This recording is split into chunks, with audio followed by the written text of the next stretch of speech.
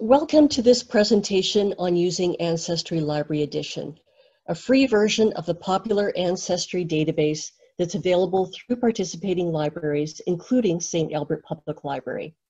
This presentation will include an overview of the kinds of information available in Ancestry Library Edition, some demonstration searches, and tips for searching for and evaluating information you find in Ancestry. What is Ancestry Library Edition and how does it differ from the version of Ancestry that we see advertised on TV? The TV advertisements are for Ancestry.ca or .com, a version of Ancestry that's intended for individual paid subscribers. Those subscribers can search billions of historical records, build their own family trees on the Ancestry site, and have contact with other Ancestry subscribers. Users of Ancestry Library Edition can search those 11 billion or so historical records, the exact number just keeps on growing, and can see family trees that Ancestry subscribers have agreed to make public. Typically, Ancestry Library Edition users must be in a participating library to use it. During COVID-19, Ancestry has made this version of Ancestry available from home for those who have a valid library card at a participating library. To get to Ancestry Library Edition on the St. Albert Public Library site, go to sapl.ca, click on eLibrary, select Research, select Ancestry Library Edition. Type in the 14-digit barcode on the back of your library card with no spaces.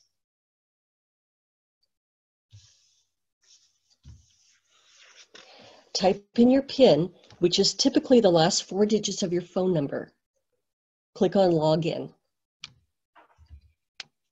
This is the Ancestry Library Edition homepage. Before we click on the green Begin Searching button, I'll point out some of the different kinds of records you can look for on this site. Census records, birth, marriage, and death records, military and immigration records. When you scroll down to the bottom of the page, you'll see other categories of records, including tax, land, and probate records, pictures, city directories, and public member trees that Ancestry subscribers have created and agreed to make public in Ancestry Library Edition. We'll return to those trees later. For now, we're going to opt to search all the historical records by clicking Begin Searching. This will take us to the basic search screen. Type in the first and middle name or names, if you know them, of the ancestor you're looking for. Type in the last name, using your best guess at the spelling of the names. Type in the name of a place where your ancestor lived. If you don't know the name of the city, town, or village, type in what you do know, even if it's only the name of a country. Notice that when you start to type in a place name, possibilities appear in the drop-down menu. When you see the place name you're typing in, select it from the drop-down menu. Type in a birth date or approximate birth date if you know it. Another option is to use the calculator beside the birth year box. For example, you may not know John Mark Wilford's birth year, but you may know that he was 39 when he married in 1911. Type that information into the calculator and let it do the math.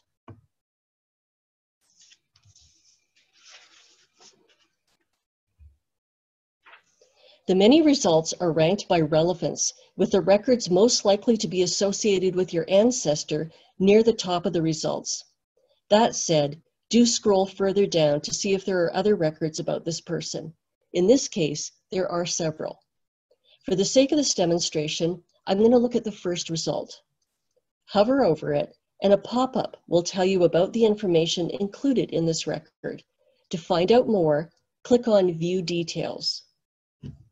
You'll see information about the source of the record, and you'll receive suggestions from Ancestry about records you might want to look at later. If there's a photograph of the original document, click on View.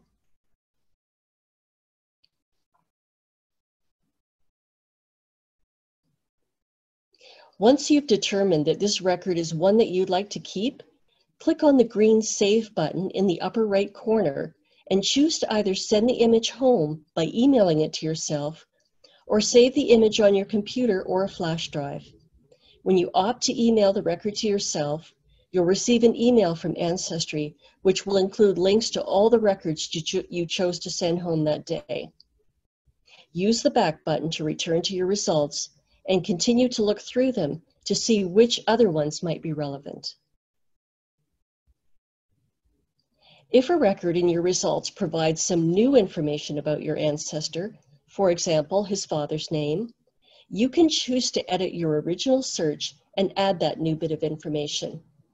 Click on Edit Search. Click on Show More Options. The screen will now allow you to add new information pertaining to events in your ancestor's life or about his family members. In this case, I'll add his father's name.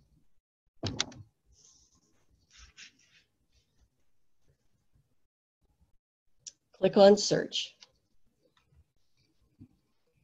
You can do a more targeted search by looking for and searching within collections of records from a particular part of the world.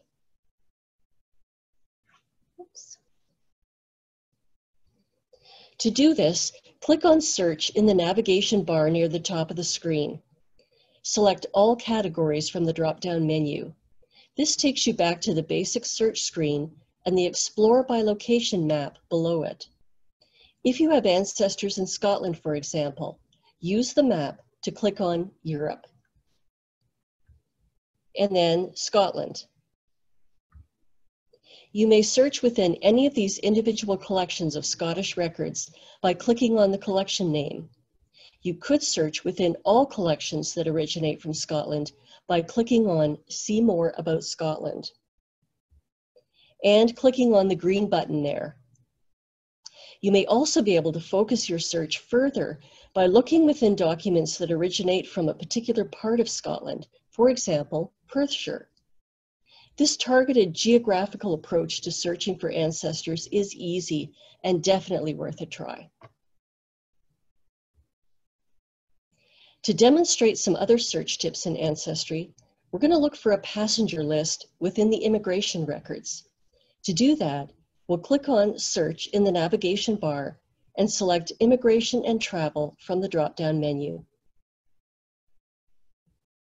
The first name of the person I'm looking for was Abraham, but he was most often called Abram. Which version of his name, Abraham or Abram, should I type in here? One option is to use a wildcard to accommodate both of those possibilities.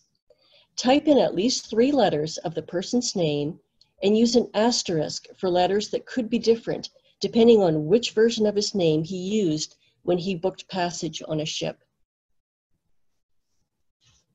If Abraham's last name was Johnson, and I wasn't sure whether to search for Johnston with a T or Johnson without a T, a wildcard could help there too. Use a question mark as a wildcard if it is standing in for a single character or no character. In fact, Abraham's last name was Fleming with an A. It's possible that my search results will include Fleming with an E or Flemming with an E and two M's.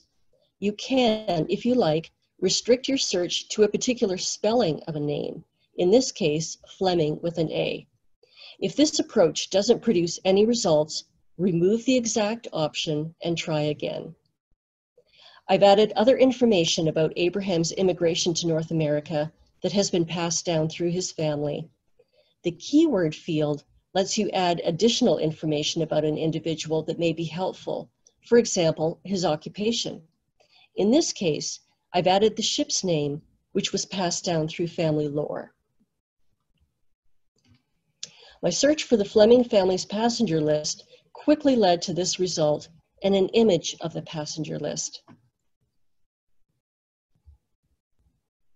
Ancestry Library Edition users can't build their family trees in Ancestry Library Edition, but they can look for ancestors in family trees that Ancestry.com or .ca subscribers have created and agreed to make public.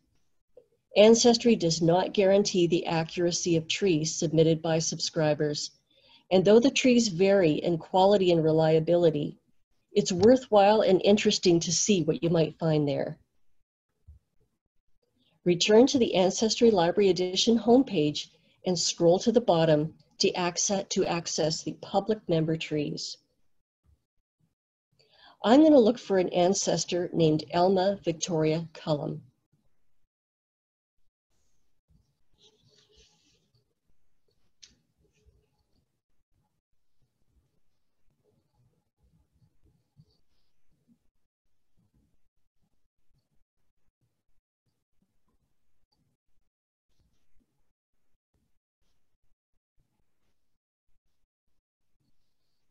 The first three results look promising.